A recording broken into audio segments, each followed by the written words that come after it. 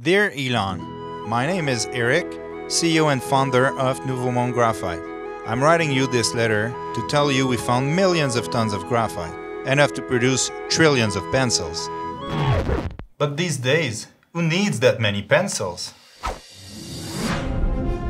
What we really need is a change towards cleaner energy and more massive lithium ion batteries that can drive themselves. We want to partner up with the EV industry to supply our graphite to you guys so you can continue the electric revolution.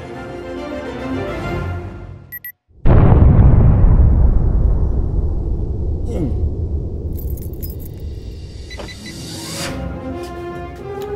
My English isn't perfect, but our product is. So Rick, what does it say? 99.95% pure. Battery grade, but I guess you expected that. Thanks, Rick. You got it, Rick. What you didn't expect is that we are building the first all-electric open pit mining project in the world. Zero emission graphite. And the best part? We're located in Quebec, Canada. Bonjour les voisins.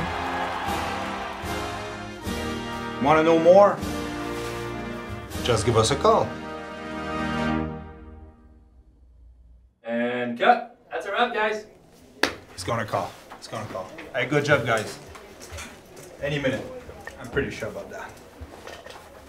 Pretty sure.